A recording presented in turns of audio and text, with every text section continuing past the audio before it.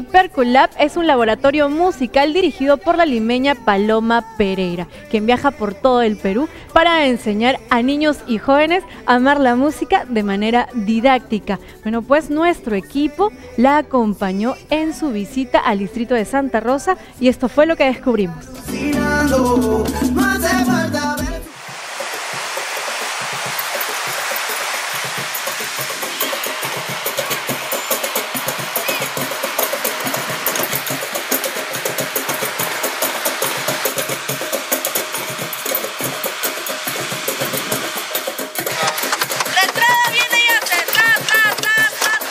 Es Paloma Pereira, una joven amante de la música y sobre todo de la percusión que viaja por el Perú para presentar su laboratorio musical llamado Perculab, una forma didáctica y divertida de enseñar a los niños. Esta vez, la Asociación Civil Educativa Ruta Libro, en el marco del proyecto de promoción de lectura y arte, hizo que dicho taller se lleve a cabo en el distrito de Santa Rosa.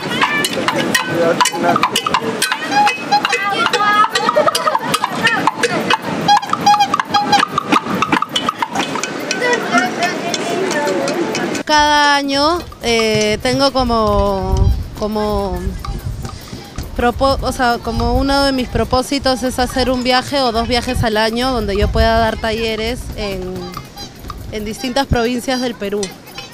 Esta vez me comuniqué con la gente de Circolución y ellos me contaron del proyecto de la caravana de Docu Perú y automáticamente me sumé a la caravana. Me pareció súper interesante trabajar en el norte del Perú y acá estoy.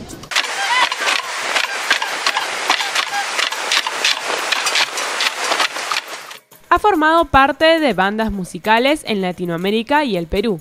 De igual manera, ha colaborado y compartido escenario con músicos destacados como el ícono peruano Alex Acuña y el fallecido maestro de la percusión Chocolate Algendón.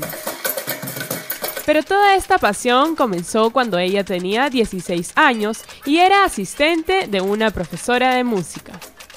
A los 16 años empecé trabajando como asistente de, profesora de música y 10 años después, eh, un poquito menos de 10 años, me dediqué a trabajar yo sola. Hace unos 5 o 6 años ya trabajo yo, o sea, ya tengo mi, claro mi, taller y, lo, que, lo que hago ¿no? con la música. Más que un taller es un laboratorio, porque los niños van descubriendo de qué trata cada instrumento por ellos mismos, y luego comienzan a hacerlo sonar, y es así como crean alguna melodía haciendo un trabajo en equipo.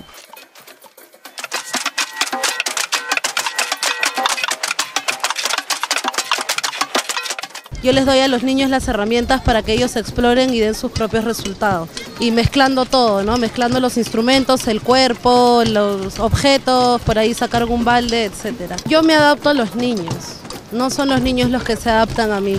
Soy yo la que les enseña lo que ellos quieren aprender y lo que ellos pueden tocar. Su taller está básicamente dirigido a niños y jóvenes, pues ella asegura que la mejor forma para que las personas desarrollen sus habilidades musicales y tengan una experiencia gratificante que dé un plus a su vida es aprender desde pequeños. La música es una terapia. Es este es algo que te hace encontrarte contigo mismo, que te hace aprender a trabajar en equipo, que te, que te ayuda a la memoria, tiene muchos, muchos, muchos beneficios. Los niños son el presente más que el futuro, entonces ahorita es cuando hay que activarlos para que en el futuro tengan más herramientas con las que puedan salir, salir adelante y, más formas de, de conectarse consigo mismos.